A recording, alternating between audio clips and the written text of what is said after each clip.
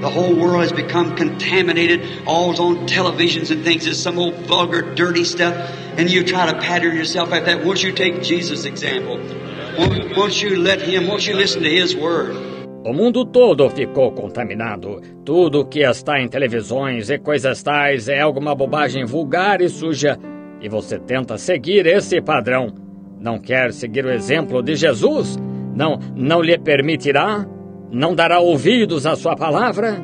Won't you do these things that's right? How many here will honestly say that you know you haven't got the Holy Ghost? Look at yourself in the mirror and know you haven't. Não quer fazer estas coisas que são certas? Quantos aqui honestamente dirão que sabem que não têm o Espírito Santo? Olham para si no espelho e sabem que não têm. No, just look at your own life and the way you do. Not because you belong to church. I belong to Methodist, Baptist, Presbyterian. That's all right. I ain't saying nothing against that. But I'm asking you, do you know Christ Jesus? Sabem, eles simplesmente olham para sua própria vida e a maneira que agem, não porque você pertença à igreja. Eu pertenço à Metodista, Batista, Pres. Eu. Isso está bem. Não estou dizendo nada contra isso.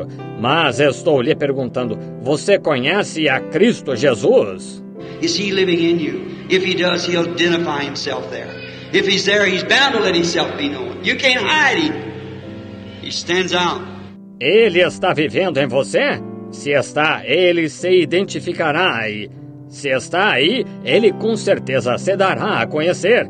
Você não pode ocultá-lo. Ele se sobressai.